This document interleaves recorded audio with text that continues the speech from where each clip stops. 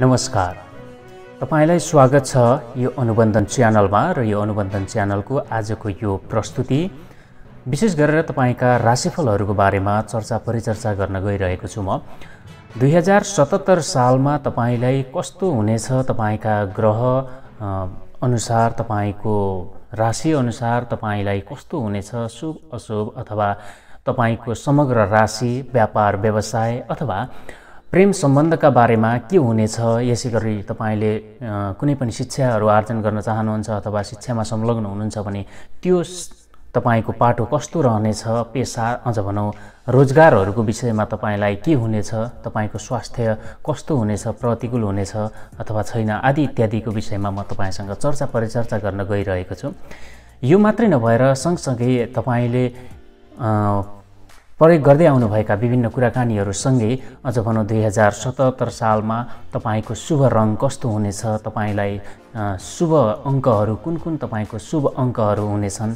यसै गरी तपाईँले यसै गरी अन्य कुराहरू गर्दै जाँदा तपाईँका लागि दर्शन पूजा अझ भनौँ त्यो उपायहरू आफूले कसरी सङ्कट मोचन गर्नेका विषयमा तपाईँसँग केही चर्चा परिचर्चा गर्न गइरहेको छु।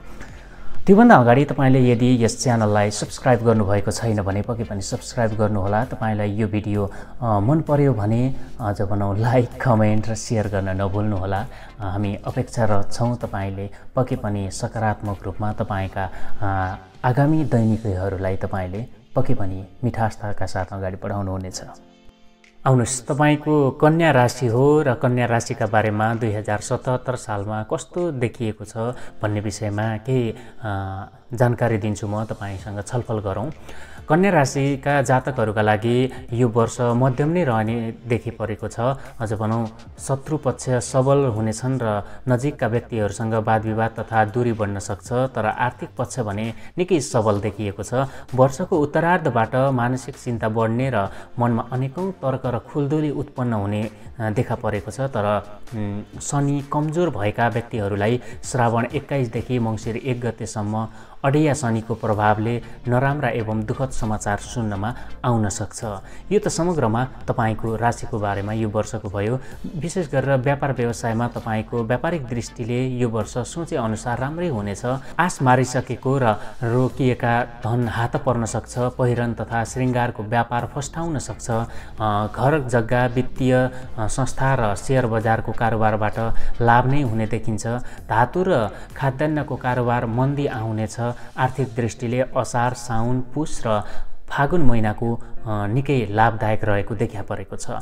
यसै गरी तपाईँको प्रेम सम्बन्ध पारिवारिक सम्बन्ध यो वर्षको ग्रह गोचर हेर्दा तपाईँको प्रेम प्रसङ्गका लागि त्यति उपयुक्त देखिँदैन। साथै दाम्पत्य जीवनमा पनि मतभेद बढ्न सक्छ तर कार्तिक महिनाबाट प्रेम प्रस्ताव आउने र प्रेमी जोडीहरूको लागि सम्बन्ध सुमधुर हुँदै पारिवारिक समर्थन मिल्नेछ यस्तो खालको देखा परेको छ। यो वर्ष तपाईँको शैक्षिक क्षेत्रमा अध्ययन अध्यापनको क्षेत्रमा सामान्य नै रहनेछ।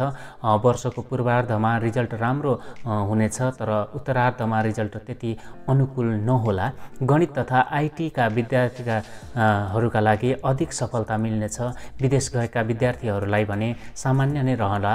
अझ भनौँ यो यो वर्ष तपाईँको पेसा रोजगार यो वर्ष आफ्नो कार्यक्षेत्रमा झमेला आए पनि आर्थिक पक्षबाट सुदृढ रहनेछ। मङ्सिर महिनापछि नयाँ कार्य वा रोजगारको अवसर आउनेछ। सरकारी कर्मचारीहरूले सजगता अपनाउनु पर्नेछ र राजनैतिक क्षेत्रमा पनि विविधता समस्या आइपर्ला।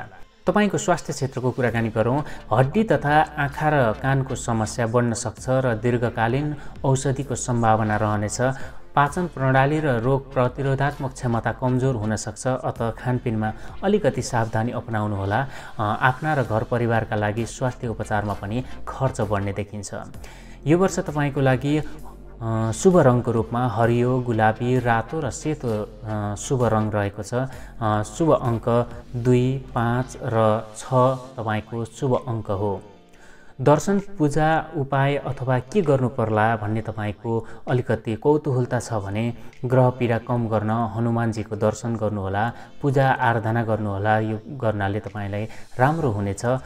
शनिबार पिपल वा अन्य वृक्षरोपण गर्दा भाग्यको बढोत्तरी हुने र यो गरेको कार्यबाट सफलता मिल्दै जानेछ। आफ्नो जन्म बारबाट शाकाहारी खाना खाने र अझ भनौँ कुनै शुभ कर्म गर्नु पूर्व यात्रामा जानु अघि नवग्रहको स्मरण गर्नाले पनि तपाईँलाई राम्रो हुने देखा परेको छ।